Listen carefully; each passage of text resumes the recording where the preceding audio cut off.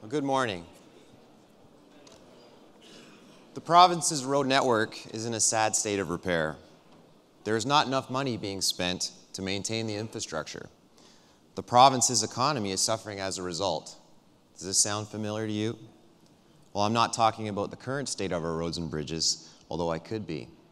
No, I'm talking about the year 1894, when a group of visionary Ontarians got together and established an Ontario chapter of the Good Roads movement.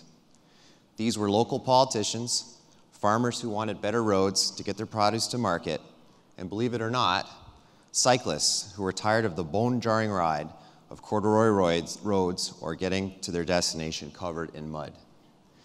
The Good Roads movement started in the United States, and while many state and provincial associations have disappeared, the Ontario Good Roads Association is still going strong. In 1901, the Good Roads train traveled across Ontario, teaching the latest in road building innovations. To this day, education and training is at the fore of OGRA's activities, training close to 3,000 public works officials and politicians a year in all aspects of road design, construction and maintenance, and asset management. The Good Roads movement was always about influencing public policy, and in the 80s, OGRA expanded its role by adding a manager of policy. We now pride ourselves on our annual Advocacy Day and a review of legislation to ensure our members' input is heard.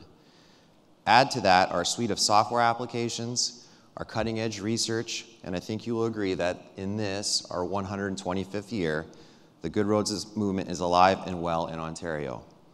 Please enjoy this brief slideshow chronicling OGRA's last 125 years.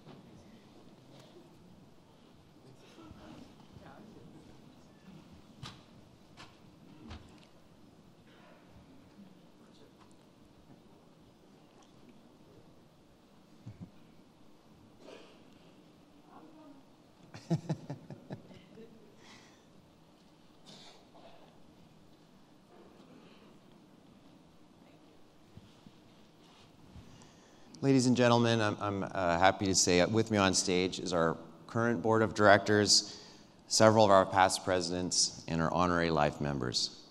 These individuals, along with our dedicated staff, are the reason that OGRA is a strong, vital association with a promising future. Please join me in thanking them for their service.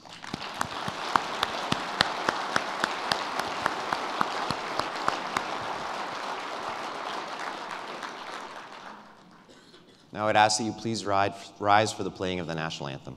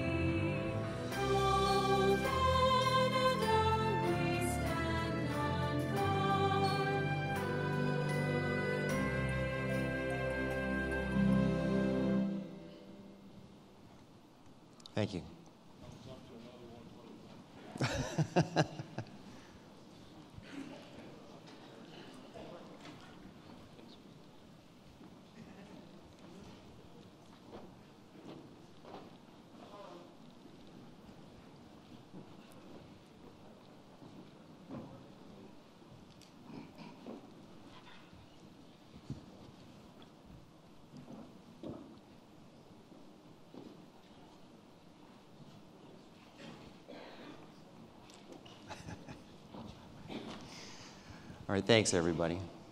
Good morning. Those of you who don't know me, my name is Chris Traini. I'm uh, the county engineer for Middlesex County, and I'm currently your OGRA president. As the president, I wanted to acknowledge that we're on the traditional territory of many nations, including the Mississaugas of the Credit, the Anishinaabeg, the Chippewa, the Haudenosaunee, and the Wendat peoples, and is now home to many diverse First Nations, Inuit, and Métis peoples. As an organization, we remain committed to fulfilling our role in Canada's reconciliation with Indigenous Canadians. On behalf of the Board of Directors and staff, I want to welcome you to the 2019 conference. Not only is this our 125th anniversary, but it's the first time we have not held this conference at the Fairmont Royal York Hotel in a very long time. We had to take leave of the Fairmont while it's being renovated. The conference is spread out over several floors, and finding the right room might be confusing. To assist you in finding your way, please look for our conference ambassadors. They will be wearing bright orange safety vests, courtesy of AGO, and holding signs. Looking very much like flag persons, they can help you find your way. We are very pleased that uh, 880 municipal delegates have chosen to attend OGRA 2019, and we don't think you'll be disappointed. The OGRA Board of Directors sincerely believes that this year's conference has something for everyone. Consult your smartphone app for the latest and always up-to-date information.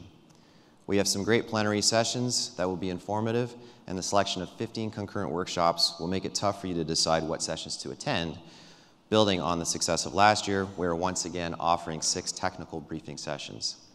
And if that's not enough, our shift disturbers will be sure to pique your interest with their short but insightful talks. We have over 100 exhibitors with us this week who are excited to meet you. Take some time during the next two days to visit them and learn what they have to offer. While you're in the exhibit hall, look for the VRcade. Try your skill on one of the many driving simulators provided by DriveWise Canada. Also, be sure to check out Asset Management Central. We have brought several agencies together in one area that specialize in asset management. Nowhere else will you find that much expertise in one space. The charging station for your smartphones and other devices can be found just outside the exhibit area. It's lockable and secure for that quick charge. I want to thank the Ontario Asphalt Pavement Council for sponsoring and running the technical session on how to get more durable pavements. For the fifth year, we also held the Emerging Municipal Leaders Forum sponsored by Municipal World. With our aging population, the gray wave will soon be transitioning out of the workforce, leaving a huge knowledge vacuum. We, have, we had over 100 students from across the province learning about the important work that municipalities do, and who knows, some of these bright young minds may be working for your municipality someday. Finally, you'll want to stick around Wednesday for the session on joint and several liability.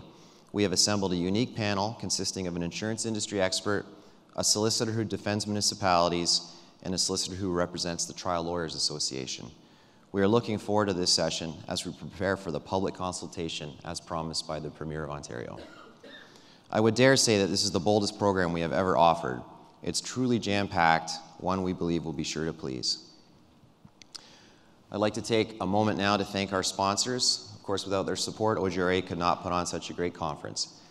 We would also not be able to do a lot of the things we do for you over the course of the year. All of our sponsors are listed in your program. However, I would like to take uh, a moment to specifically mention the following sponsors uh, Frank Cowan Company Limited, Marmec Technologies, the Municipal Engineers Association, Municipal World, and the SALT Institute.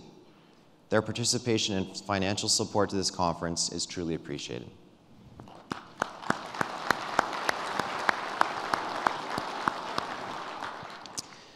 So before we move on to our first session this morning, there's a few housekeeping matters. Uh, as a courtesy to our speakers throughout the conference, please uh, silence your smartphones. If you'd like to attend the OGRA Awards Luncheon that's happening tomorrow, you can still purchase tickets at the registration area that's up on the concourse level until 4.30 today.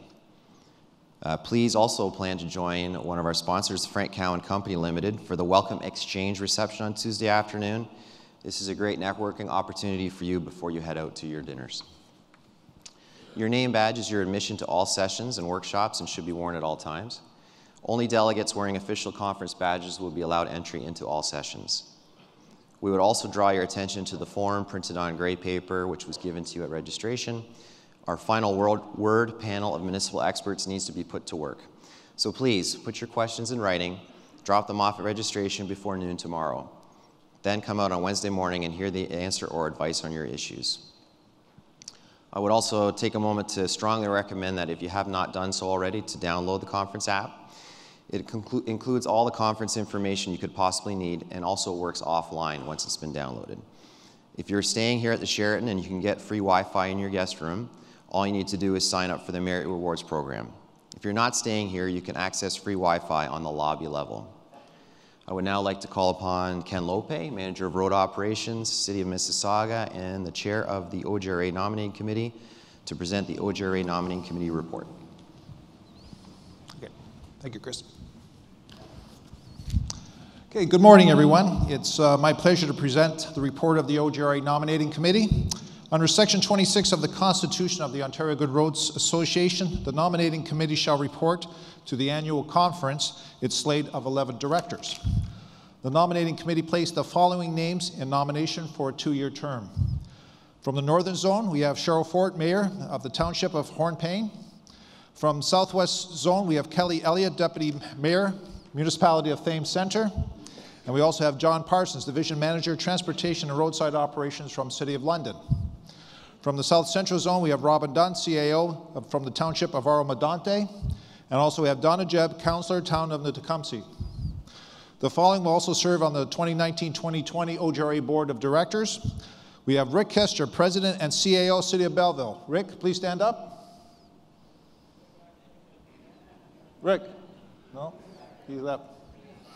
Okay, we also have Rick Harms, First Vice President and Project Engineer for the City of Thunder Bay.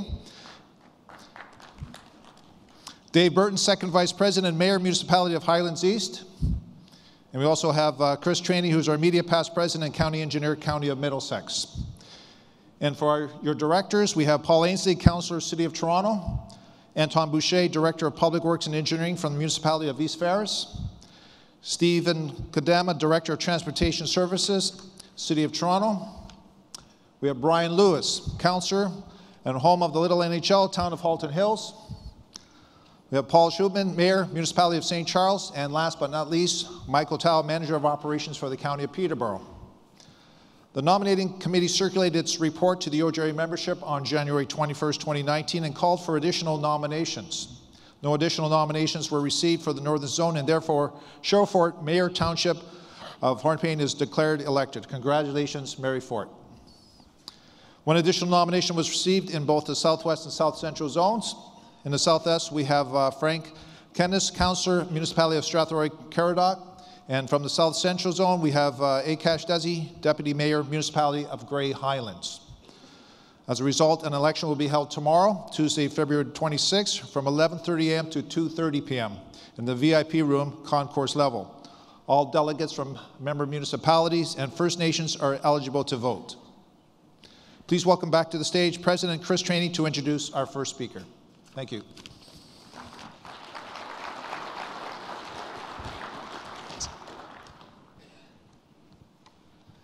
Well, now we're going to get to the good stuff.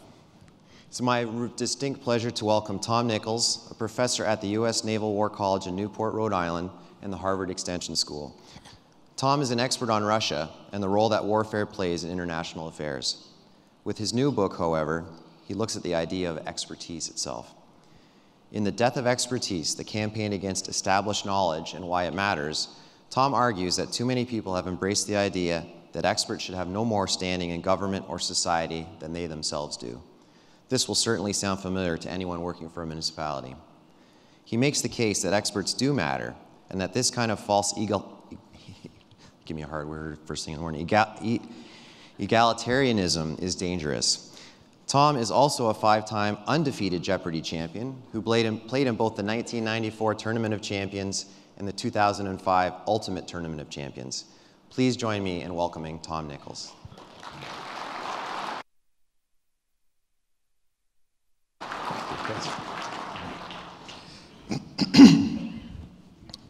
Well, good morning.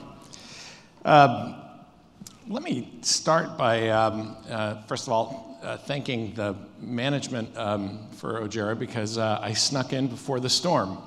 Uh, so uh, it was a close call, but I made it. Um, I guess the first question is why would I do this? Why would I write something with such an obnoxious title? Uh, because we know expertise isn't dead. This whole room is full of experts. Um, we're, we're all masters in, the, in this room and in various walks of life uh, of various areas of expertise. And yet, there's a problem. Um, people seem to rely on expertise, but they don't very much respect it. And the question is whether that's new. And I'm sure you've all dealt with this that uh, people say, "Yes, I understand, you know, that you un- that you know your job and you know what you're doing, but I was promised elevated highways and flying jet cars, and I'd like to know where they are." Um, the problem is that I think we've entered a new phase uh, when it comes to expertise, um, and I'll just hold that map for a moment, where people don't respect the idea of expertise. They use it, they pull it off the shelf, they uh, expect it to work, but they assume that they themselves are as capable as anyone else of figuring out highly complicated matters. And this isn't true. So let me move to a couple of things here that have me concerned, just to give you some examples before I move on um, of the kind of thing I'm concerned about. The Washington Post asked Americans after uh, Russia invaded Ukraine um, to find Ukraine on a map. And um, they had some pretty strong views on it. Now, as you heard, I, I played Jeopardy. Uh, and this is a great Jeopardy question because Ukraine is actually the largest country whose borders are entirely within Europe. So you could throw a dart at a map and have a pretty good chance here. Um, for those of you that want to know, that's where Ukraine is. And the problem was that people who had the very strongest notions about using force in Ukraine, including deploying NATO troops into Ukraine, were the people who were the least likely to know where it was. And then, when told, you know, well, that we political scientists have a term for putting NATO troops in there, it's called World War III. Uh, they would reconsider their ideas. The average respondent was off by an, by an average of 1,800 miles. That means when asked for their views on this, people expressed very strong views while not being able to put this, in some cases, on the right continent. Um, that's a problem. But maybe, you know, map tests aren't fair. Any of us in here, I consider myself an expert on international relations, but if you jumped out at me at mm, 9.05 a.m. and handed me a map of Central Europe or uh, Africa and said, find, find a country, I might fail it too. Here's a similar problem. Um, this map that you see behind me, see all these little blue dots that go all the way from the Arabian Peninsula all the way out to Siberia, down to Australia? Every one of these dots is the guess of an American adult about where North Korea is.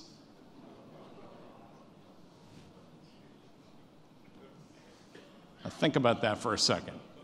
This is a country that my country and we together as allies may end up facing a nuclear threat from, and only about 35% of Americans were able to properly locate this. My favorite part of this map, by the way, are the people who figured out that it's in Korea, but put it in the south, even though the word north is, you know, right there in the name of the state, North Korea. But again, you know, life is tough. We're, we have taken a lot of news. People are busy, work, job, kids. So a while back, a uh, polling company decided to see um, a rather mischievous left leaning polling company said, We're going to prove that Republicans tend to be a little more warlike. So we're going to ask Republicans and Democrats alike how they feel about bombing Agrabah. And as you might expect, Republicans were a little more willing to bomb Agrabah. Um, but they came up with an unexpected finding, which is that Democrats also had very strong feelings about not bombing Agrabah. That they felt very strongly that Agrabah should not be bombed. Agrabah hadn't hurt anybody. Uh, the Republicans felt this was a matter of national security. The Democrats felt that this was just more American muscle flexing.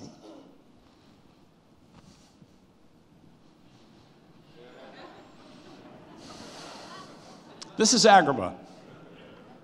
If you have small children or grandchildren, Agrabah is the fictional country in Aladdin.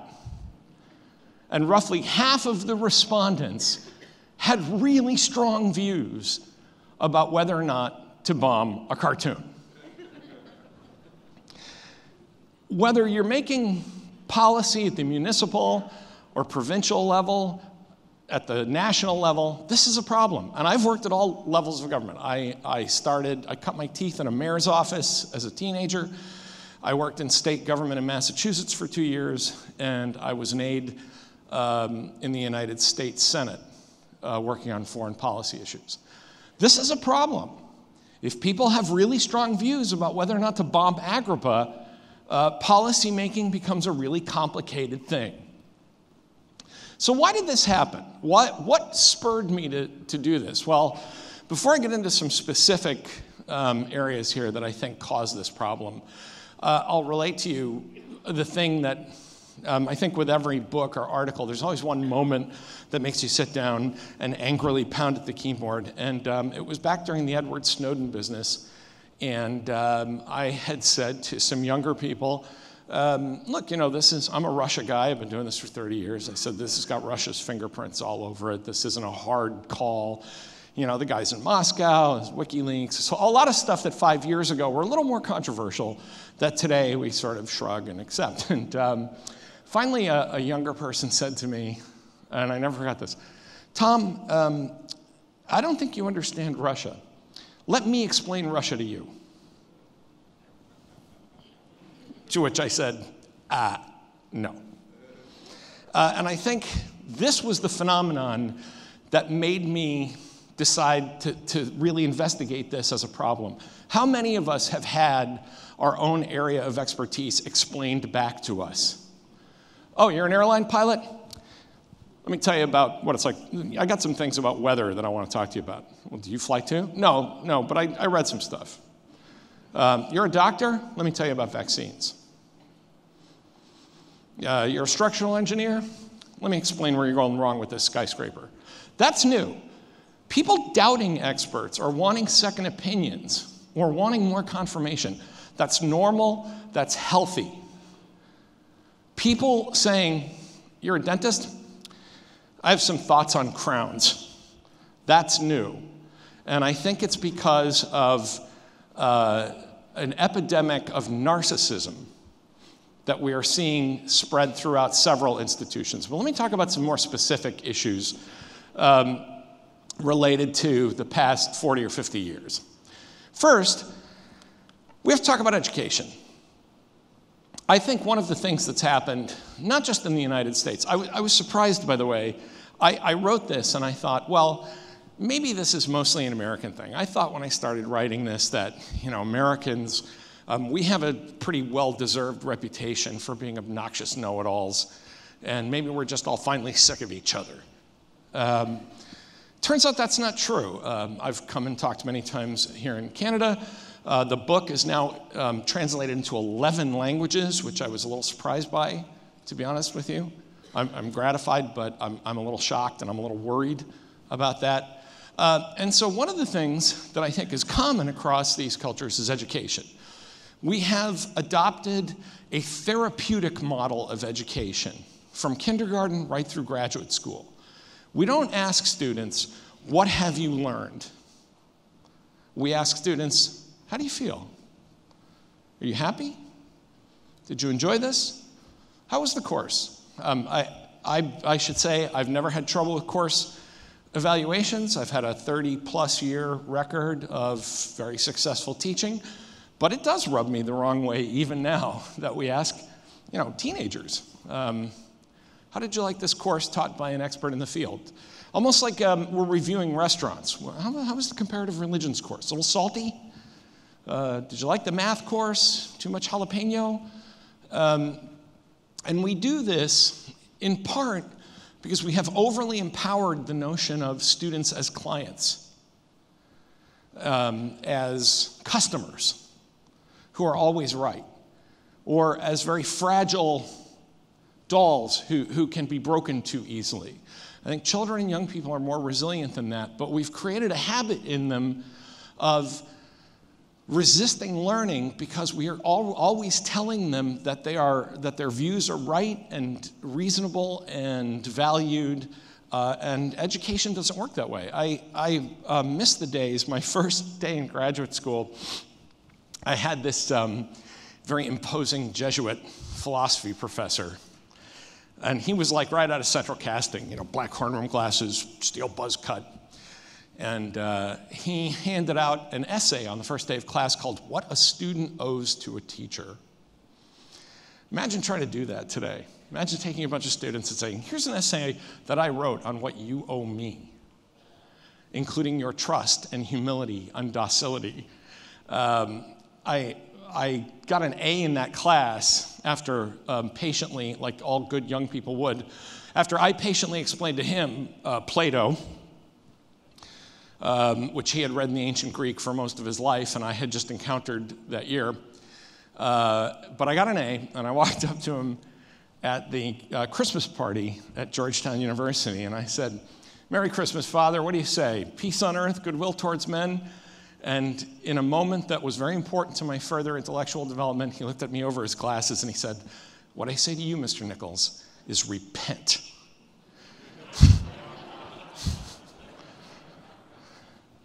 Um, so I think we spend too much time uh, talking about feelings instead of facts. Uh, we spend too much time on the kind of therapeutic aspects of education, and I think this undermines the creation of habits of critical thinking and lifelong learning. There's also the problem of media. You'll notice, by the way, I'm leaving the internet for last because I don't think the internet is what caused this. I think the internet put it on steroids. There's also the problem of media. Now, when I was a kid, um, the evening news was a half hour. Uh, uh, younger students, by the way, are always amazed when I try to explain to them that uh, the evening news before the Vietnam War was 15 minutes long. They, they're shocked by this. Um, but I, I don't think that those were better days. I mean, you know, the 1960s and 70s, uh, the news in the United States was three old white guys reading curated streams of corporate approved information from New York City. Fair enough. But it also meant that there were editorial decisions that said that an arms control treaty was more important than which Kardashian was sleeping with whom. Somewhere after that, we developed enough bandwidth and enough options, particularly through cable, to c- create multiple information streams. And the good side of this is that we now get a much more diverse set of views. We hear from people of different ages, different ethnic and regional backgrounds, different political views. The downside is that because there are so many of these options, you can spend all day watching the news, in theory, watching the news, and not learn anything, and never, more to the point, never encounter a view that you don't happen to like. If you want to watch an entire evening's worth of news and never be challenged to hear something you disagree with, that is completely possible in the 21st century. And that's, that's, that's a problem because we are now, excuse me, we are now curating our own information streams to make us feel smarter about ourselves because the whole business has become, the whole business of media has become a giant exercise in confirmation bias. Confirmation bias is the search for information you already agree with because it feels good to be right. We, we know this now. We know this through research. It physically feels good to be right about things. When someone says to you, you say, I think X, and someone walks up to you and says, You know what, you're right. And you, you get a little jolt and you say, Wow, that felt great. Um, and so we do that all night long. We don't really, we have these kind of fake wrestling matches on the evening news where we all shout at each other. And I have been on all the networks. I've been part of that. I, you know, I'm as guilty as anybody else. Um, but we don't really force people to engage with information and to learn anything or to challenge their own views. And that is in part because of this stovepiping of political views through media, um, but also because of the amount of information that um, ha- is out there. And because we're in a 24 7 news cycle, we're just pumping that information and, and then dragging the bottom of the barrel uh, every day just to find more things to say. Um, I've actually had producers call me up say, uh, listen, can you come and do a segment for us on, you know, uh, pickle manufacturing? And I'm like, I, I don't know anything about that. And literally, this happened. A producer said to me, Come on, it's five minutes. And I said, It would be five minutes of unadulterated ignorance. I don't know anything about this. And there was this kind of silence, and she said, Thank you for being honest.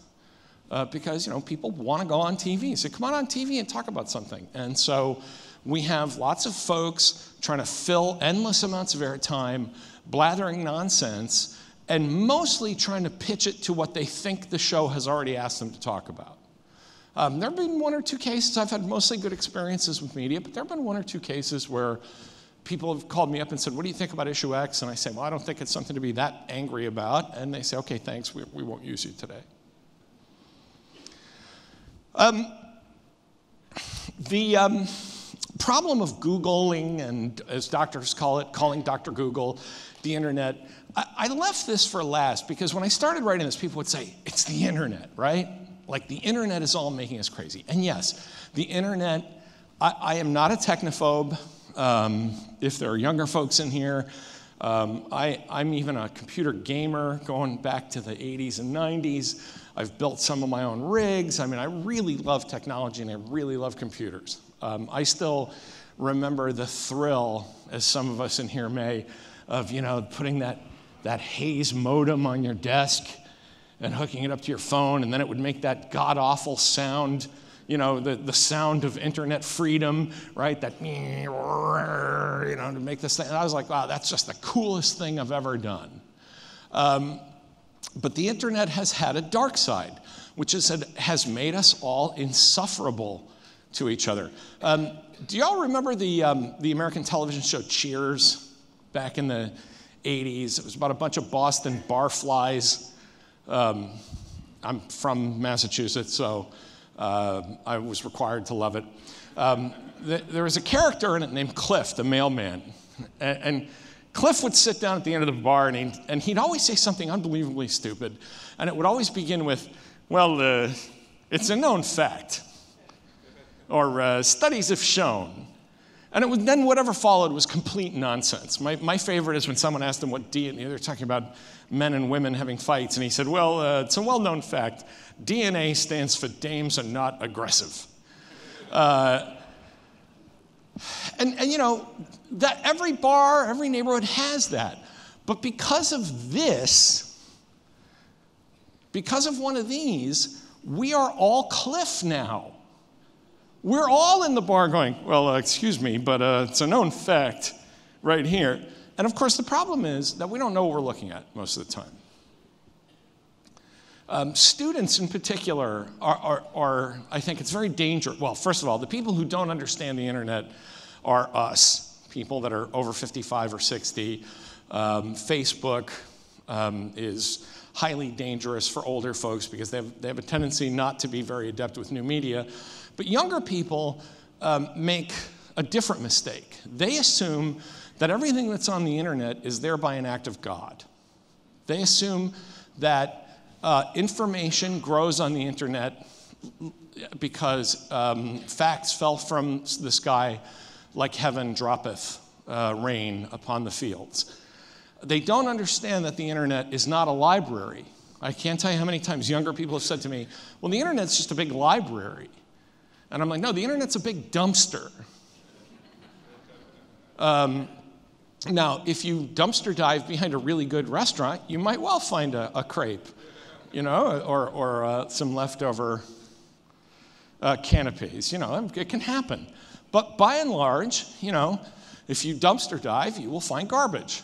Um, there's about a hundred, um, there's about a billion websites now going on the rule that um, I talk about this in the book, the rule coined by the 1950s science fiction writer Theodore Sturgeon that 90% of everything is crap, that means there's about 900 million bad websites. That still leaves 100 million really good websites, but the problem is that the internet has no editor, it has no gatekeeper.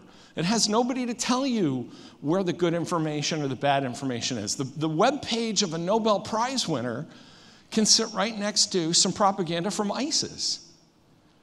Um, somebody who's trying to sell soup could be right next to the Mayo Clinic. And there's no way for you to tell. Uh, I, I, had a blog uh, for a few years. I used to blog, and you know, I took it down. I took it down. I realized I was becoming part of the problem. And I tell my students, you know, they said, Why'd you take your blog down? And they said, Oh, can I? I read something on your blog. Can I quote it? And I'd say, no, the editor of that thing is an idiot. And, and it would take them a second to say, but the editor, the editor, there's no, there's, oh, oh. I say, look, I tell the students, I teach a writing course at the Harvard Extension School, and I say, everybody needs an editor. Hey, Tiger Woods has a golf coach. Even, you know, published authors need an editor. And I took it down because I thought it was just um, irresponsible. And uh, I think the golden age of blogs is fading out, but I, I, think that that was, um, you know, serious problem because there's, there's no quality control, there's no content control. And so if you really want to think that Barack Obama was born in Africa, if you ask the internet enough times, it's going to tell you yes. If you think Donald Trump is a lizard person sent here to steal our water, Somewhere there's a website that will tell you that. You know, I used to joke about this and say, well, if you want to believe Hillary Clinton was running a, you know, child sex ring out of a pizza joint, problem is there is a website that says that, and people took it seriously and showed up with guns. Um, and so the internet, I think, took this problem that I would, as a kind of good, moderate New England conservative, I, I blame all bad things on the 60s. Uh, I would say that um, this, this began in the late 60s and then really blossomed during the me decade uh, to where people decided, I'm as smart as experts. Now, I have to say a few things about the failures of experts because they are manifest and they are real. And I think the collapse of expertise or the, or the collapse of faith in expertise tracks pretty closely with the collapse in the faith of the average person in government, in institutions. Um, I grew up in the generation, I was almost nine years old when the United States landed on the moon. So I come from this generation of children that say, we landed on the moon. How hard can anything be? You know, I mean, by the, by the time I was a young kid, I still remember thinking it was kind of the height of American, um, you know, spiking the ball uh, to have Commander Bean on the moon hitting a golf ball off the lunar surface, right? That was almost like a, you know, um, look, how, look at where we've gotten that we're so bored with going to the moon that I'm playing golf up here. Um, but that period was followed very quickly by the end of the Vietnam War, America's loss, Watergate, revelations about abuses of the intelligence community, things that made people say, hey, the guys that sent people to the moon might not be that trustworthy. And maybe they're not even that smart. Um, maybe, you know, maybe there's something going wrong here behind the scenes that I'm not aware of. Now, I, I do push back on some of um, what people throw at me these days as expert failure. When I started writing this book, I always got um, the whole, what was I called the holy trinity of expert failure. People say thalidomide, Vietnam, Challenger, um, which I think shows you how much people have got, just taken it for granted that everything in the modern world works that you know, Challenger as a, the, the space shuttle accidents as cases of expert failure. It's hard to go into space. It's a spaceship. It's hazardous. It shows you how used to things working people have become that if a spaceship has a critical failure, people think experts don't know what they're doing. Um, Thalidomide tells you something about how safe drugs are. I actually had my research assistant go look this up um, because thalidomide was before I was born, and yet people still remember it. Meanwhile, it turns out that the number of safe over the counter drugs people in the West take, something on the order of 300,000 perfectly safe non prescription medications of various kinds. Uh, and we don't even think about it. When it comes to foreign policy, and where politics and expertise intersect, which is, I think, where a lot of folks in this room live as well, then it becomes a problem. Because the public does not really distinguish very well between experts who advise and the elites who decide.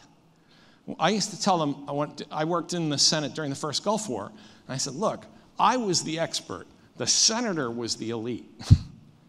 Okay, I mean, I was a you know 30 year old legislative assistant, um, you know, with a badge, uh, and I was you know, if, if, having a parking spot on Capitol Hill, which I thought was really cool. Uh, you know, so I, if that makes me elite, fine. I was, I, I could park on First Street on Capitol Hill, so I was like the in crowd. My boss, who was a God rest his soul, a billionaire senator, I would argue he was more elite than I was because he had to stand up and cast votes. And I think that one of the things that's happened in the 21st century is that increasingly the public wants things that are difficult to do and contradictory, and they send that to their elected officials and then say, if you can't figure this out, it's because experts are stupid. And the example of this, at least in the United States, that makes me crazy are the people who call their congressman and say, I want to repeal Obamacare, but I want you to keep the Affordable Care Act. There is a significant number of people in the United States who genuinely don't understand that those are two different things and that they actually want one repealed and one kept. Um, in the book, I talk about uh, foreign aid, which in the United States is always this big um, hullabaloo about how much money we're spending on foreign aid. And if you ask the average American, you'll get a number, number somewhere around 10 to 25% of the budget. The average American thinks we're spending about 10 to 25% of the budget on foreign aid. If you ask about 5 to 10%, there's actually a very small minority, about 1 in 10, 1 in 9, who think that 50% of the US budget is being spent on foreign aid. The actual number is less than 1%. It's about three quarters of 1%. That's how far off the average person in my country is about how much we spend on foreign aid. I don't know what elected officials are supposed to do with that. I also don't know what elected officials are supposed to do with things that the public really wants that aren't good for them. Um, you know, econ- bankers in 2007 were telling people to buy houses they couldn't afford. That's what bankers do. Lexus salesmen do not tell you not to buy a Lexus. Uh, economists were saying this is getting pretty dangerous. This is a bad idea. And yet, if you talk to the average American about the bank failure, about the, the recession in 2008, they will tell you that this was an expert failure, none of the smart people saw it coming, uh, and that no one could have possibly known it, and this was just greedy um, economists uh, trying to plunder the economy. When in fact, professional economists were the people saying this is, this is not a good idea. Um, the Gulf War is often brought up, Second Gulf War. N- not, a, not a shining moment for military planning in the United States, but it was not an unpopular war either. Uh, and so we're, I think we're having, this is starting to bleed over, and I'll talk about this a little bit toward the end, and then um, hopefully we can have a bit of a discussion before we break. Um, that there are a lot of things that the public has demanded, told experts and the people they advise to make happen, and then later said, um, I, I, don't like, I don't like this, this cake that I told you to bake. Um, which is not to say there aren't real expert failures. Experts are human beings. We, we not, not me, of course, they lie, uh, falsify, obfuscate, uh, spin. All of those things happen. There's no doubt about it. Experts make mistakes uh, and engage in the full range of human sin and, and vice like everybody else. I would argue, as, and, I, and I, the, the simplest expression I use about this is expert aren't, experts aren't always right. They're just more likely to be right than you are. They will make mistakes and they check on each other. When students ask me, what should I read for a newspaper? I always say, anything that has a corrections section. A newspaper that does not have a corrections column is not a newspaper.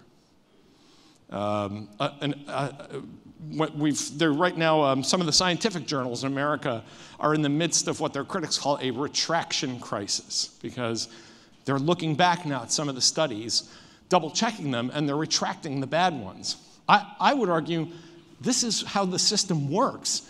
A, a journal that never retracts an article is probably not doing its job.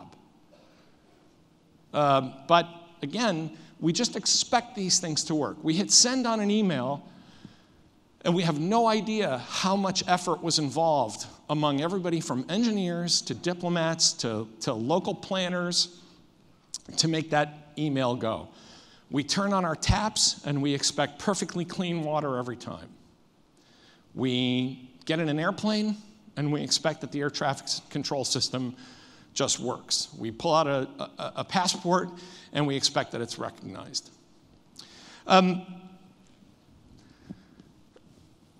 I've been throwing around this word expert, so let me say a couple of quick words about who I think an expert is, because a lot of times um, the public will push back on this word and say, well, you mean people like you, pointy headed, you know, uh, ivory tower guys with PhDs. And I don't mean that at all. Um, education is important, but so is training, depending on what your field is. Credentials matter because I do think it's important, um, especially for, for folks here who deal with things like public and civic engineering projects. You want an engineer who's been examined by other engineers. Um, you don't want a guy who says, uh, listen, I'm gonna, I've got an idea for an elevated highway here, and I've read some things, and I've taken a look at the internet, and I think I got this. Um, you want some peer affirmation and review. You want people that have experience, although, you know, experience is always an interesting uh, problem. Younger people always bristle when I start talking like my dad and I say, look, it takes about 20 years to get two decades of experience. And they go, oh, you know, you sound like my dad. I'm like, yes, everyone sounds, sooner or later you will sound like your dad too. Um, but you know, if I fell off this stage uh, and we needed a doctor, um, if there's an EMT here, that'd be great. If there's a new medical, a new MD, that'd be better. If the head of orthopedic surgery at a local hospital is here, I'll take that guy. What I don't want is the guy who says, I uh, was watching an episode of ER the other night. You know, you know maybe not. so I think that this is um, something that goes across professions and trades. I had a house fire about a year ago. And, um, you know, as you know, my specialization is in Russia, nuclear weapons, arms control. My house was full of experts electricians, plumbers, contractors. I was completely useless. I was walking, they kept pushing me out of the way. And I literally was like a step away from, like, hey, um, anybody needs to know about, you know, intermediate range nuclear missiles? And they're like, yeah, I'm the guy. Everybody else, I'm like, thanks. Actually, uh, uh, this true story, um, there was a guy painting, and um, uh, I, I, love telling the story because his name is Big Jim. He paints without a ladder. He's one of those guys, just stands there and goes. And um, he said, All right, so uh, look, Mr. Nichols, I'm going to put some primer, and then I've got this stuff. And, it's, and finally I said, Jim, I don't understand a word of this. I said, Words, words, words, paint, right? And, and he said, Yes. I said, Is it the right stuff? Will it take care of this? He said, Yes. I said, Great. I said, Listen, you need to know about nuclear weapons. I'm your man. But the rest of it, I don't know. And he stopped for a moment and he said, So what is going to happen in North Korea? And I thought, finally, a question I could answer. And I said, Well, here's what I think is going to happen. Um, this was, you know, during going up to this first summit. And I said, well, here's what I think is going to happen. And I'm, you know, I'm concerned. And this is what I think it means. And he kind of nodded and he said, okay, thanks. He picked up the paint, he started painting. Two experts had a conversation, stayed out of each other's way. I have a beautifully painted house that doesn't smell like smoke anymore, and he feels like he's a little more up to date on what's happening with North Korea. I didn't tell him how to paint a house. And I think we need to respect that division of labor. We need to start doing that more.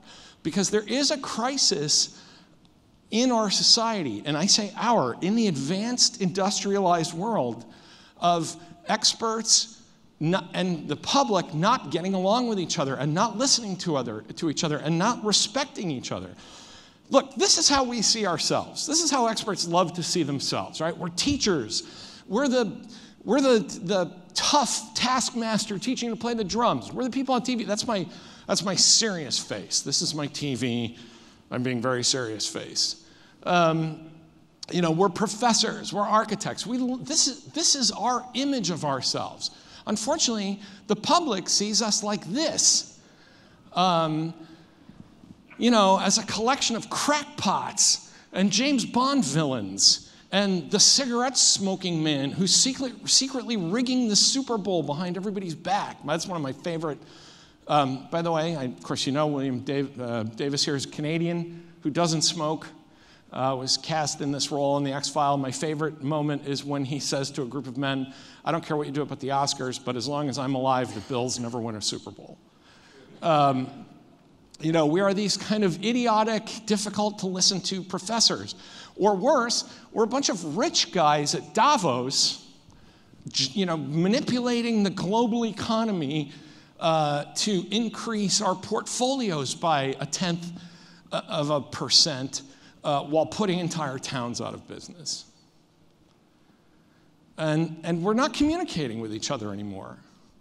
And society can't function a, an advanced post industrial society cannot function with experts and the public constantly mistrusting each other because this is how experts see the public. This was one, this, everybody in the world sent me this cartoon when it came out about six months ago. Um, if you can't read the caption. It's on board an airplane, and this fellow here is saying, These smug pilots have lost touch with regular passengers like us. Who thinks I should fly the plane? We can't go on like this. This is not healthy. We, we, are, we rely on a division of labor, both politically and technologically, to make our societies work. And if the experts decide, and I think this is one place where I'm very critical of experts, if the experts decide to simply withdraw from the public space and not come out and do talks like I'm doing right now, I mean, I do talks all over the world. Um, I do a lot of universities and classrooms. Um, a lot of my colleagues don't want to do that. They don't want to get yelled at. They don't want to get shouted at. They don't feel like they need the headache. They would much rather just publish in their journals, talk to each other, because, you know, who wants to be the bad guy? Uh, but that's not going to work. We can't maintain a democracy on aggressive ignorance. And I, I'll just finish by saying there are some significant concerns here that I have about the risks to government and to national security, to our well being. I don't mean national security like secrets, I mean like the security of our nation, the security of our alliance, the security of the West. Um, the public, for, for one thing, is not equipped to mediate among important alternatives anymore. If you have people who think North Korea is in, is in Sri Lanka and that Agrabah is our enemy, uh, you simply cannot rely on the public to give you an intelligent demand signal. And I've gone to a lot of audiences around, particularly around the United States, and said, people have said, Washington doesn't listen to us. And I'm, to which I say, Washington tends to listen to you too much, and the times it doesn't listen to you, thank God for it because you don't know what you're telling them. You, you don't know what you're asking yet. Um, oh, by the way, speaking of Washington, this is a good time to say I certainly don't represent the views of the United States government in any way on any of this stuff. Um, this makes propaganda more effective. When people don't know what they're doing, they don't have basic levels of political literacy, propaganda becomes very powerful. Uh, because then you're a sucker. You believe whatever you see. Somebody sends you a Facebook meme and you say, okay, I get it. Hillary Clinton's a pornographer. Uh, you know, Donald Trump is um, the Manchurian candidate. Um, Barack Obama is an African prince who was smuggled here as a baby. Um, the Republican, the small r Republican form of democratic government will collapse under the demands of uninformed populism. I, I was watching um, Anybody see a couple of days ago there was a video of a group of children meeting with Dianne Feinstein about environmental stuff.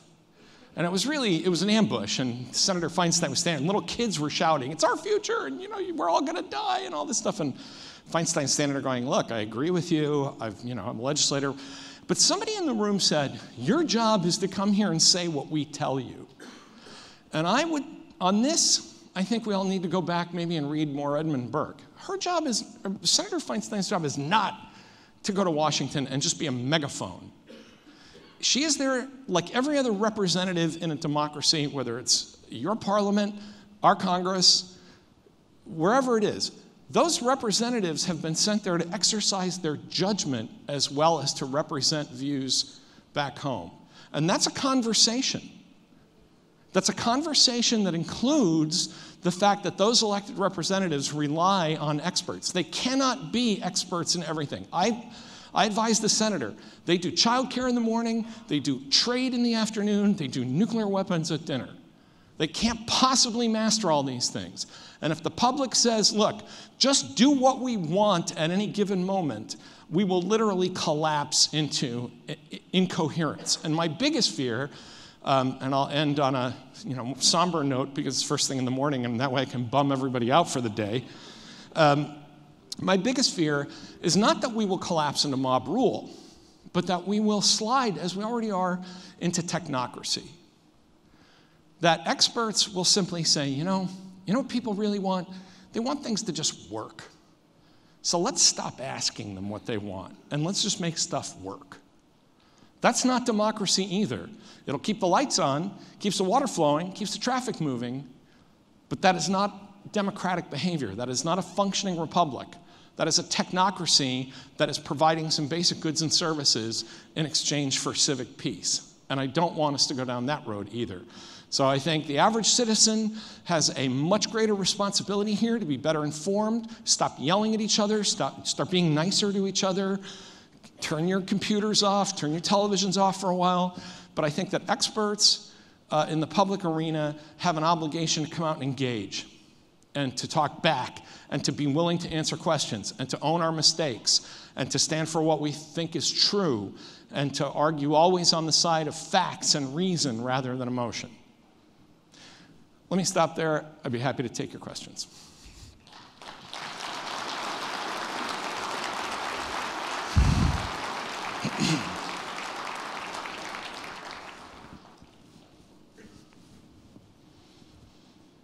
Done? Great.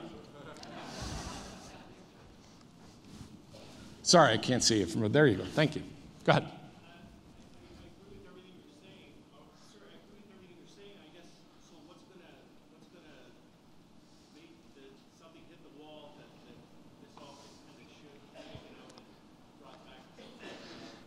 I wanted to stop after I agree with everything you're saying. But the second part of your question is really important. And the question was what is going to bring us to our senses here? What's going to change this? Um, I, I, didn't want to end on this big of a, be- a bummer, but my real concern is that um, it will take a disaster. Um, the three things I worry about the most are a pandemic, I mean, what's going to, the anti vaccine movement will be over tomorrow if there's a pandemic. That's already beginning. I mean, measles is already breaking out, whooping cough. Um, but when there's a no kidding, you know, return of widespread injury to children, uh, that will that'll do it, but that'll be at a very high cost. I mean, I have people. There are people in my living memory who have polio. polio. I have people in my family who live from polio. Um, one of my, but it shows you again how comfortable we've become. I was telling my students, I was giving a lecture on um, biological warfare, you know, one of those feel good holiday get togethers. And um, I said, Well, unlike the rest of you in this room, I've been vaccinated for smallpox. Uh, as a child, because I used to travel, I'm part Greek, and I would travel, I'm part Greek and part Irish. There's a, there's a joke in there somewhere. Um, and uh, I would travel to southern Greece, see my relatives, and I had to get vaccinated for smallpox. And I swear to God, the student said to me, Smallpox? Why did they vaccinate you for smallpox? Nobody gets that. And I said, Duh. I said, Vaccination, nobody gets that. And you could see for a moment the student suddenly, you know, the kind of the penny dropped and he went, Oh. I said, that's why nobody gets that. Um, so I worry about a pandemic. I worry about a, a no kidding economic depression, not the recession of 2008, where a bunch of people bought houses they couldn't afford and a bunch of wise guys on Wall Street securitized their debt. I mean a real depression.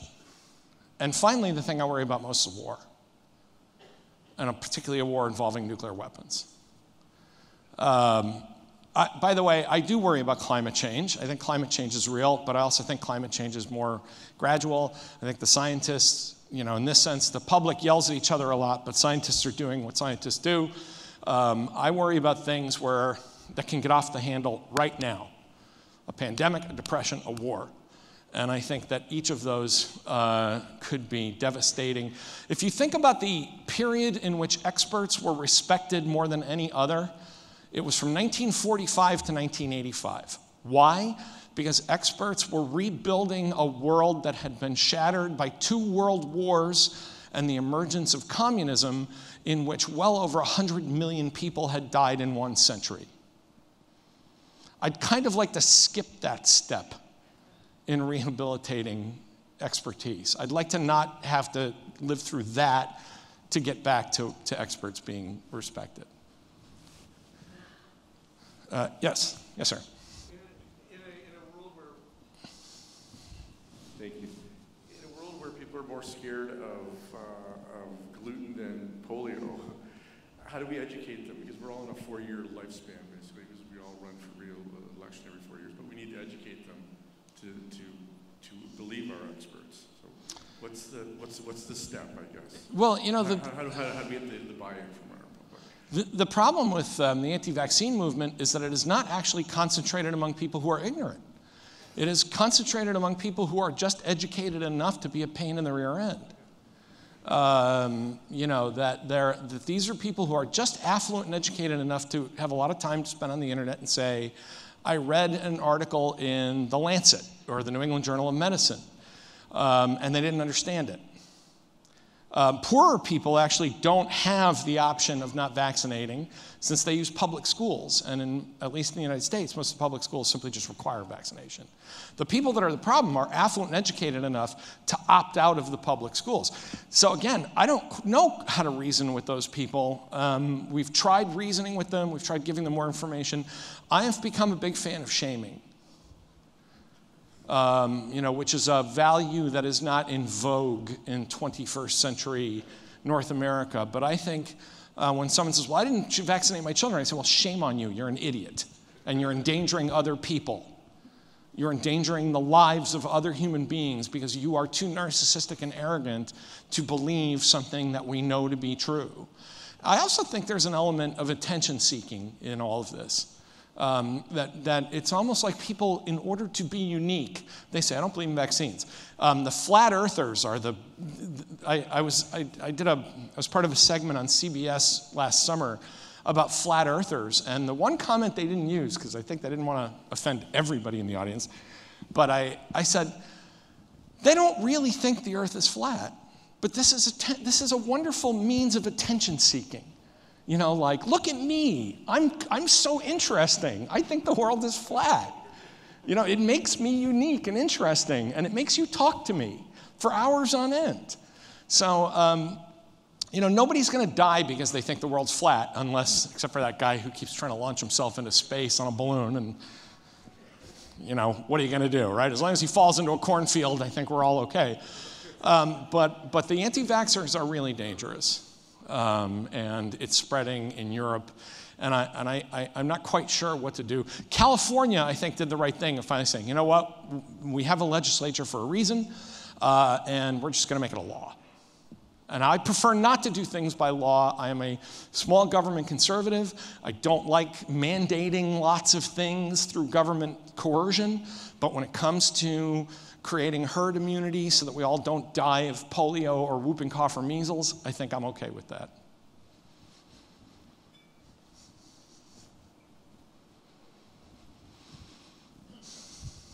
Thank you.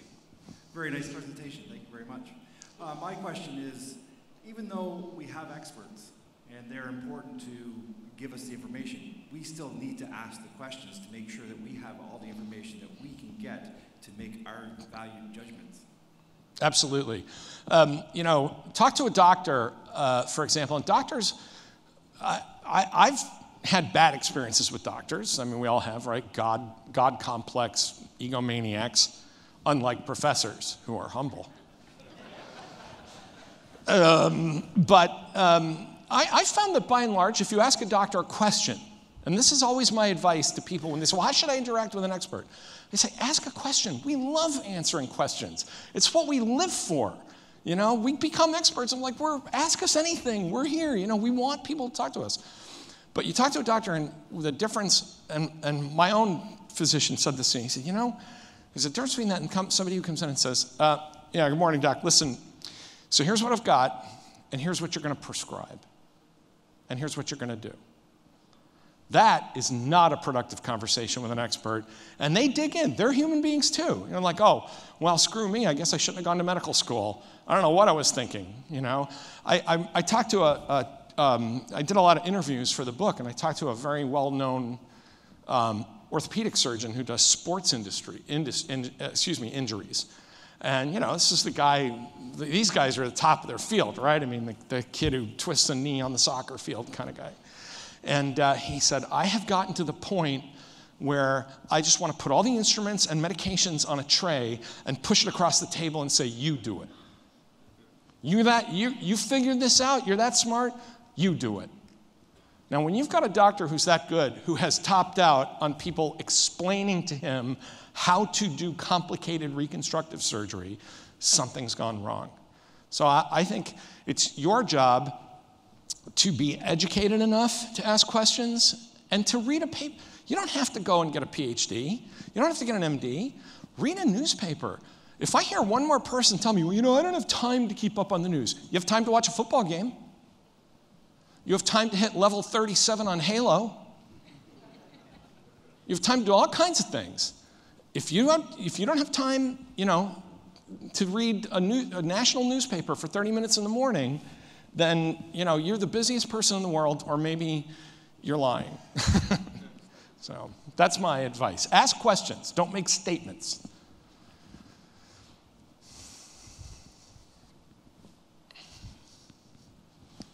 Great presentation.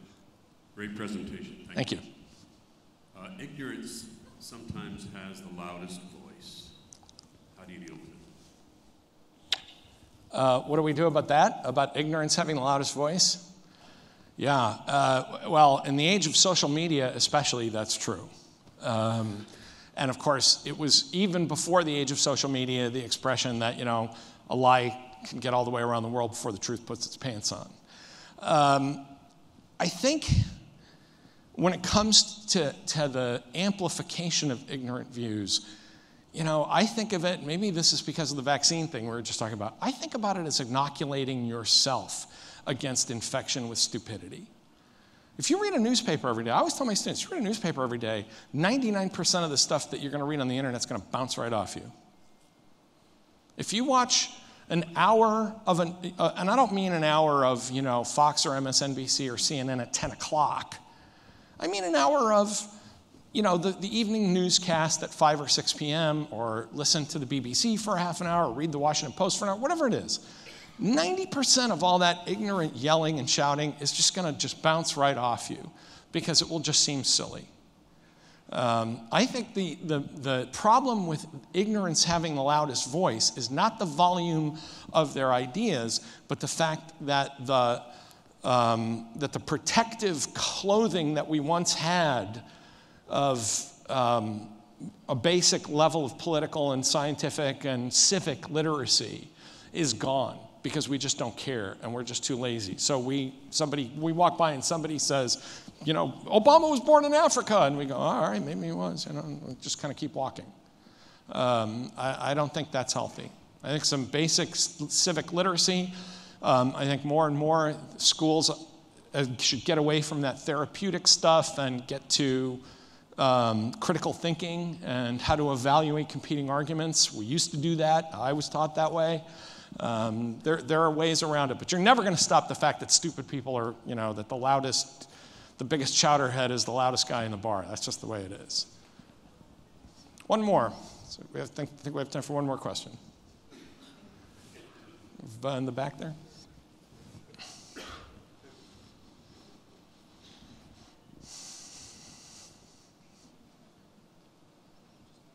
Guess based on what you're saying, do you think democracy's in danger, or is that something that we should be worried about, especially with Russia and China influences? Democracy is in danger, and yes, you should be worried about it. Um, but I don't blame Russia and China. You know, I, of course, I come from the United States, and I'm constantly being told the Russians, you know, ate the election. Um, I have no doubt that the Russians meddled interfered, attacked. I shouldn't even say meddled. I, have said, I, in fact, last time I was in Canada, I gave a talk on this. The, the Russians attacked American political institutions directly. But if people, you know, the quickest way to defeat the Russians? Don't get your news from Facebook. That's it. You want to defeat the, the Russian military intelligence and the FSB and Vladimir Putin? You want to fight the Russians one on one, toe to toe? Don't get your news from Facebook. It's that simple. It's not their fault if we eat the garbage they're serving us.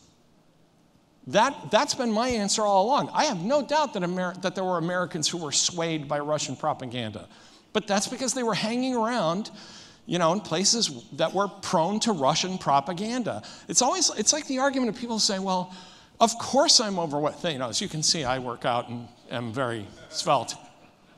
Um, but you know, it, it, it, does bother me when Americans who have become more, we've, the United States, people in the United States become more and more obese over the years. And we say, well, what, what were we going to do? You know, there's a Burger King on every corner. Well, don't eat there.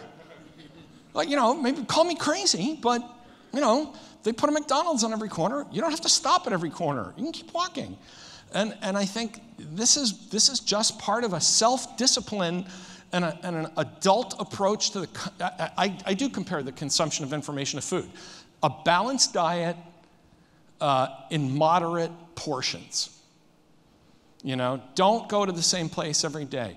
Ask about the provenance of the information. If somebody sends you a meme, delete it. Don't, you know, if your Aunt Rose sends you some crazy Facebook thing with, a, you know, like my funny animated cat, it's not, that's not information.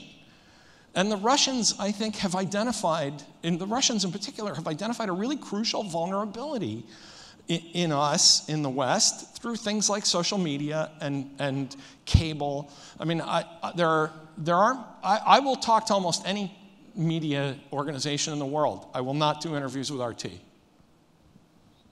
It's that simple. I just don't appear on RT. It's a rule. Um, that's my one little, you know, digging in because I'm not going to send I whenever I'm on TV, of course, I go on Twitter because I'm relentlessly self-promoting. I say, "Hey, I'll be on, you know, MSNBC tomorrow, or I'll be on CNN tonight." I, I don't, I don't do RT. I just think it's wrong. Um, don't, don't go there. Don't go to those sources. And I don't see why people find this so difficult. Because when they ask about this and they say, What can I do to counter Russian propaganda? It's like saying, What can I do to counter the fact that they're supersizing my fries? Well, stop ordering the supersized fries and stop eating them. Uh, and I, I think that's a very, that's just a matter of self discipline. And if we can't master it, then yes, democracy in the United States, in Italy, in Canada, France, Germany, all of the leading democracies are going to be in deep, deep trouble until their voters and their citizens start acting like responsible adults again. I'm out of time. Thank you.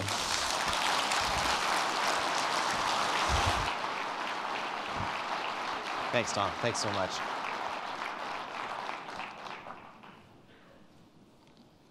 That's some very thoughtful and insightful uh, stuff from Tom this morning, and we really, really appreciate him coming in and uh, taking the time to speak with us all uh, this morning. So,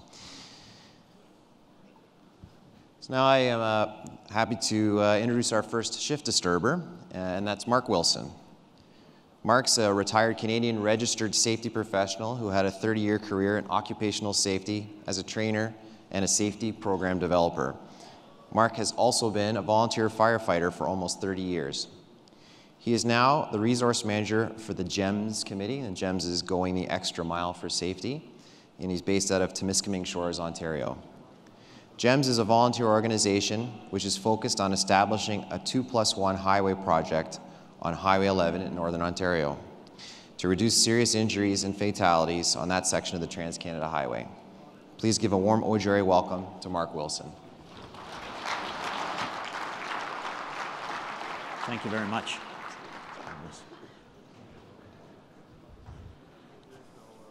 Thank you very much.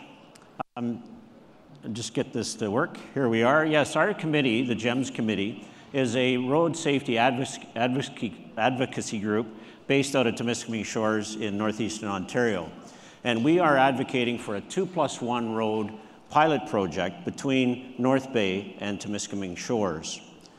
Our committee has been researching this two plus one road model extensively, and I, on behalf of the committee, have traveled to both Sweden and Ireland to uh, meet with experts and tour two plus one roads.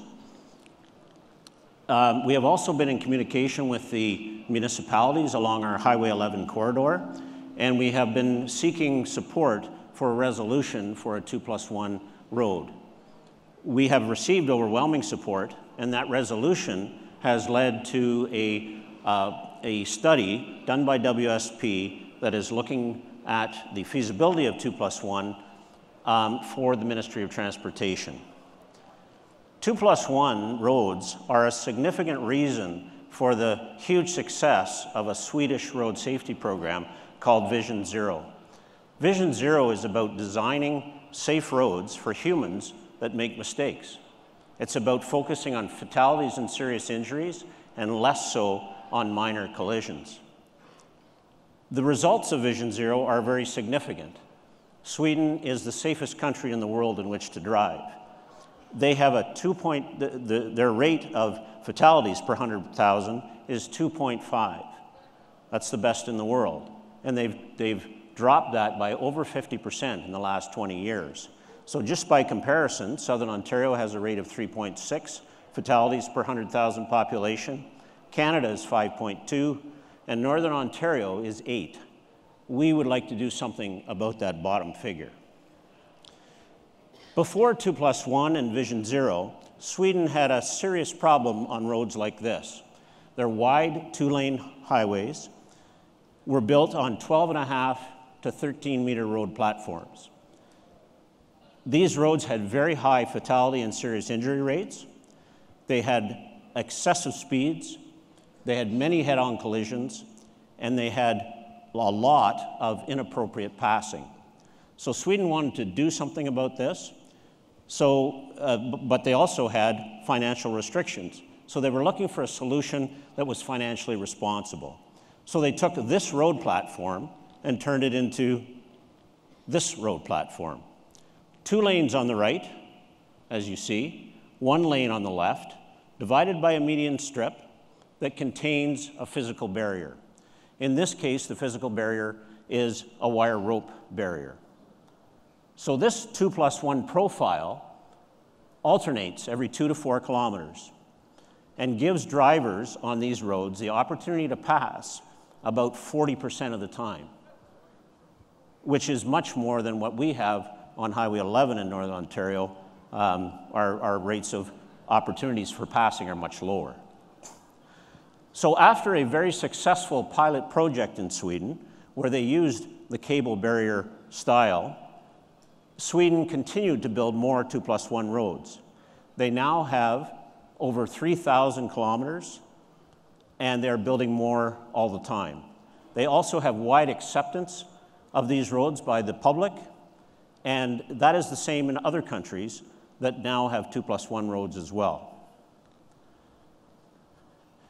Over the 20 years that they've built 2 plus 1 roads and used them, they've also changed some of the technology and the materials that they use.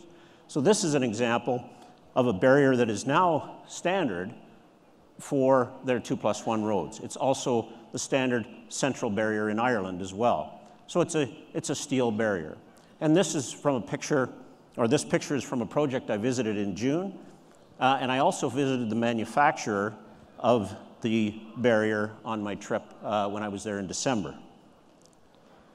Two plus one roads work best at traffic volumes between 2,000 and 20,000 average annual daily traffic.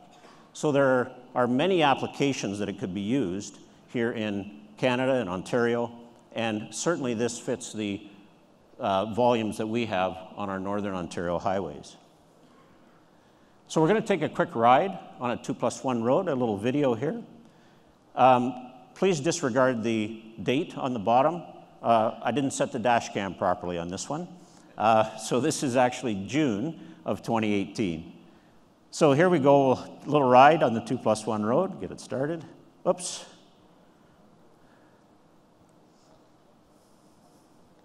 It's not working.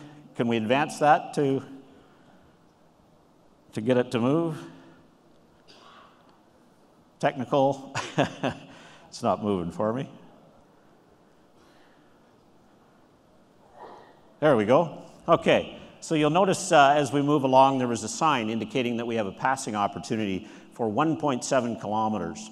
And as we're driving along the road, you'll notice on the barrier side there's a rumble strip, and there's also a rumble strip on the shoulder side. And you'll also notice the reflectors, which are quite common on Swedish roads. You'll notice coming up on the right, there's a farm and a farmhouse. And so, for people who live along these roads, they need access to both directions. So, what they simply do is they'll drop the barrier, as you see on the left, which gives them access. So, there's very little disruption for um, people who live along the roads. You'll also notice the trucks on the road. The trucking industry is in full support of 2 plus 1 roads, and I met with trucking officials when I was there. Coming up, you'll see signs on both sides of the road indicating that there's a lane drop happening. So on the left lane will disappear shortly in 400 meters, and you'll see the arrows on the asphalt. This is opposite to the way our passing lanes are in Ontario and Canada. And there the lane comes to an end, and we're on a single lane section. And now we come to another intersection, an at grade intersection, which is quite common with these two plus one roads in certain volumes. A little shot here of winter. Um, this is what it looks like in the winter. They work very well in the winter. This was taken during my trip in December. And uh, this is very close to the Arctic Circle, actually, so there are two plus one roads up there as well. There we go, a little bit of what it feels like. So, what are the safety results? The safety results are exceptional. About 80% reduction in fatalities on these two plus one roads in comparison to the wide two lane roads that they originally had. Reduction in motorcycle fatalities, 40 to 50%. This is a very interesting slide, too, and I think it's one that's very, very important when we look at the relative risk of dying on different road types. So, this is from a Swedish study, and it looks at three different road types. We look at the first column, divided highways, posted at 110 kilometers. That's similar to our 400 series highways here in, in Ontario. Let's bounce over to the two lane, 90 kilometer. Uh, so, so, sorry, divided highway, uh, your relative risk of dying is one. Let's bounce over to the two lane 90 kilometer, and we have a 5.5 risk of dying on that road. Look at the two plus one road, and you see that it's basically the same as a divided highway, actually a little bit better. So, for that kind of safety performance, when you, keep, when you take that into consideration, and then this into consideration, that two plus one roads are built at 75% lower cost than twinning, um, it makes a lot of economic sense as well as a lot of safety sense. Two plus one roads can be built in areas like ours, right? On the left, you've got Sweden, on the right, Northern Ontario. The platform is there, the technology is there. We think that it's something we need to test. Highway 11 is a vital link for all of those, for, sorry, for all of us who live in Northern Ontario. It's a significant, there's significant agricultural and mining expansion occurring now and that's all serviced by Highway 11. It's the route of choice for cross country commercial traffic. Citizens fear driving on the highway, and it's our personal and economic lifeline. With many road closures, uh, which happen quite often, uh, that affects both our regional and provincial economies. So, as Andrew Pattullo, the uh, OGRA founding president, said 125 years ago, Good roads transform the district through which they pass and lead to higher civilization and enhance commerce. Well, we agree with that 100%. We just need the good road. So I would like to thank you for your attention this morning. Please look us up at our address there. We're part of the Temiskaming Shores and Area Chamber of Commerce. We're a subcommittee of that organization. Uh, my phone number is there as well, so please, if you're interested, please call me. We're, we're more than willing to talk to anyone about two plus one roads and how they can make a difference in Ontario. Thank you very much.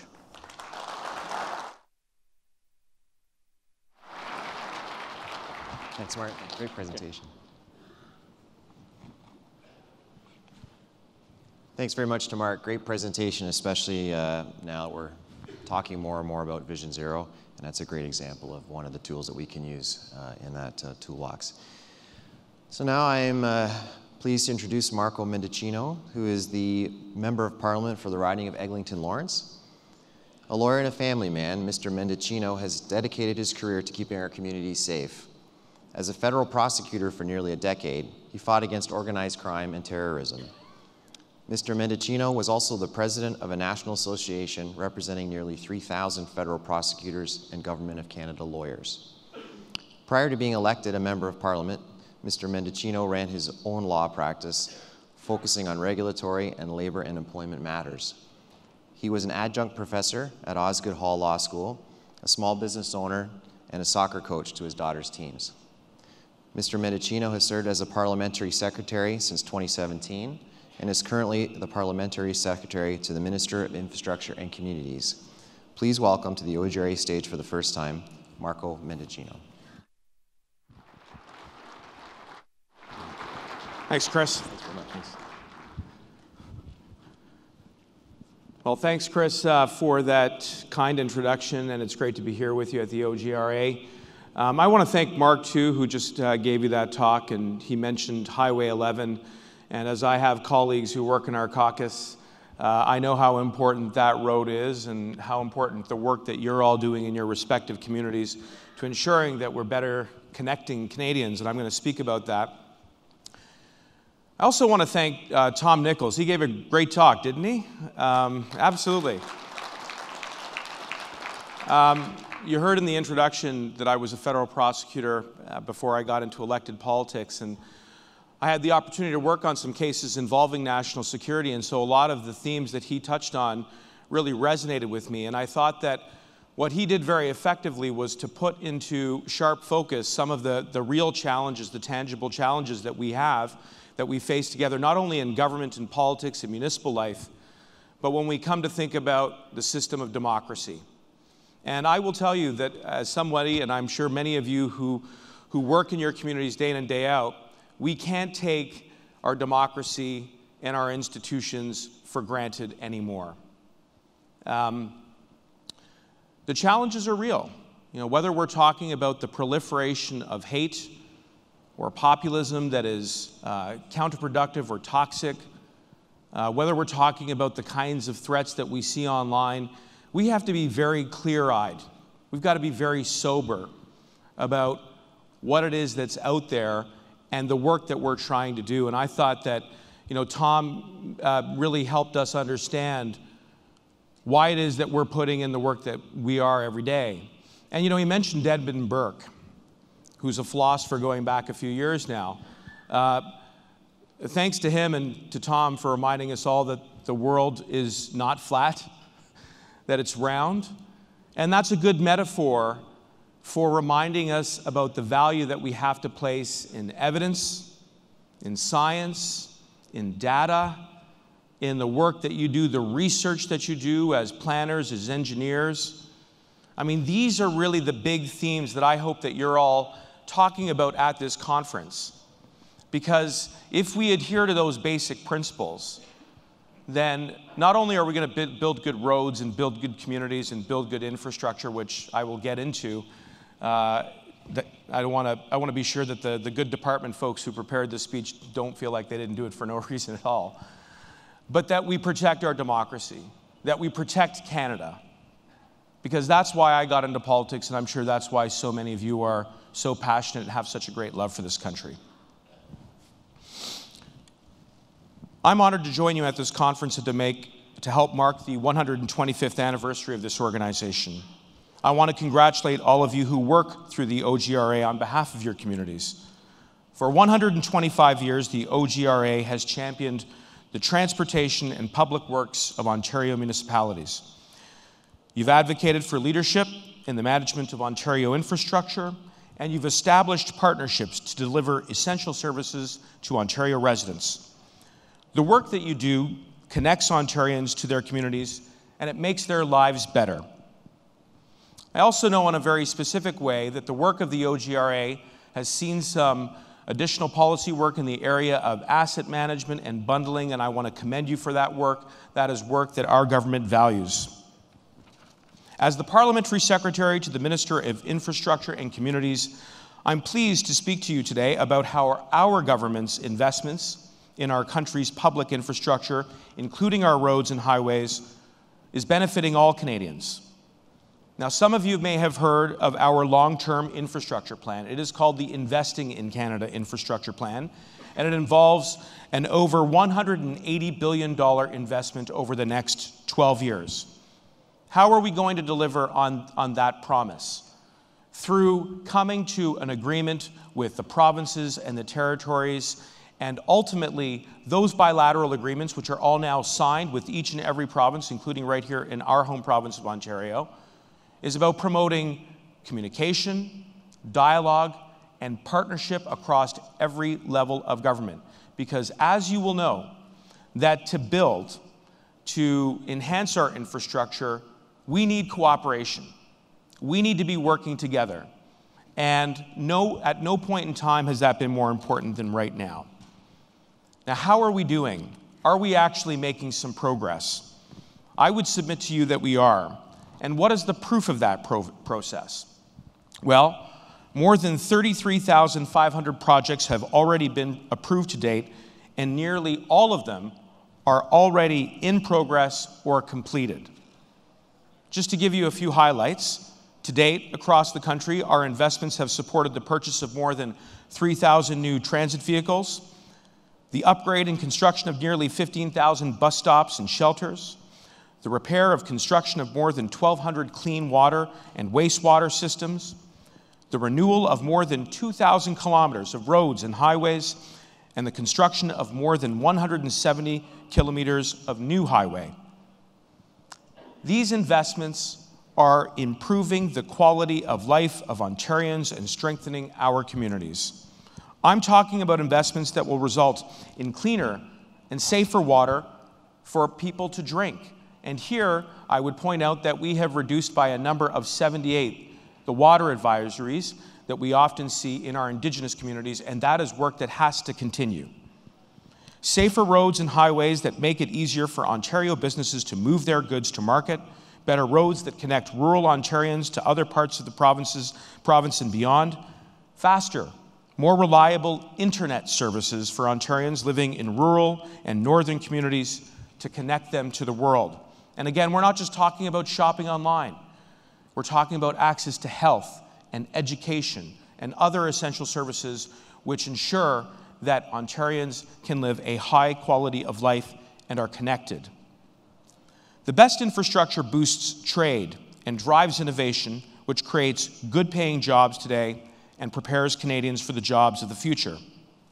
The best infrastructure also attracts more talent and investment to our communities, which will create new jobs and business opportunities for Ontarians. Our investments will allow Canadians the opportunity to participate fully in the economy and share in its prosperity. Our government is doing our part to position Canada for the 21st century, but we cannot do it alone. Partnerships with organizations like the OGRA are the key to Canada's success. You know your communities, you know what is best for them, and that is why we are here to partner with you. Through your advocacy, your consultation, your training, and your expertise, and the services you deliver, we are ensuring that we have better policies and legislation and investments which are required. In fact, the role of partnerships is an important way for the public sector to deliver more quality infrastructure for Canadians. And that's why our infrastructure plan is designed to expand the opportunities for the public sector, public sector to attract private sector investment, both domestically and globally. And it's why we created the Canada Infrastructure Bank. Now, this is a new bank. It's a new bank that will ensure that we are stretching public dollars and that the return on their investment goes further. It attracts private investment to free up government resources for other infrastructure priorities. The Canada Infrastructure Bank really operates like a bank. Over the past year, the CIB has met with provincial, territorial, municipal, and Indigenous leaders and with private sector proponents and is working with them to identify a pipeline of potential projects and investment opportunities. Through its work, the bank is advancing new models of partnership that get more projects built. As you may have heard, the CIB's first investment is in Montreal for the Réseau Express Métropolitain. The REM, as it is sometimes called, is a single integrated transportation network that will offer more efficient travel options for the residents of Montreal.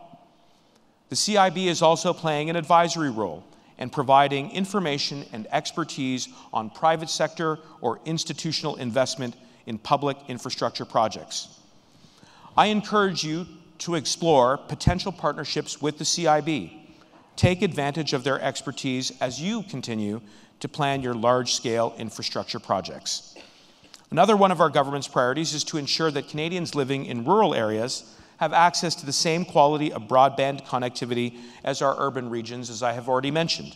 And here I'm referring to two main initiatives one, the Connect to Innovate Fund, which is being administered by Minister Bains under the portfolio of ISED, and our SWIFT program. And we will continue to make investments to extend access to rural households and businesses. And there is still more to do. That's why our government is committed to taking additional action on rural broadband. Bernadette Jordan, Canada's newly appointed Minister of Rural Economic Development, has made access to high speed internet and wireless service a key focus of her discussion with rural leaders, and I know she looks forward to coming to your communities in the very near future. My friends, I want to emphasize the magnitude of the opportunity that we have. Our government's investments in public infrastructure are ensuring that your communities, communities are safer and healthier, more accessible and sustainable, and so that each and every one of us can enjoy more economic opportunity and a higher quality of life. Our government is ready to be a strong partner in your growth, and I look forward to working with you to make that growth happen as we build a stronger and more prosperous Canada. Thank you. Merci beaucoup.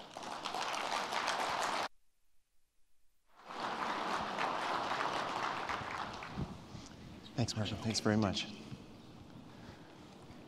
That was great. Thank you very much, Marco. We always appreciate uh, the partnerships we can have with the federal government and uh, the support from Parliament. So, well, that concludes our morning session. Um, so, we're pleased. Uh, we have about uh, just over half an hour for you to enjoy coffee. Uh, the coffee stations are set up in the exhibitor hall, so uh, please take some time to visit with our exhibitors, have a cup of coffee, and the concurrent workshops will start at 11 o'clock. And you can refer to your program to the conference app for the topics and the locations of those uh, workshops. And then the afternoon will start back here in this room at 2 o'clock. Thank you very much. Have a great day.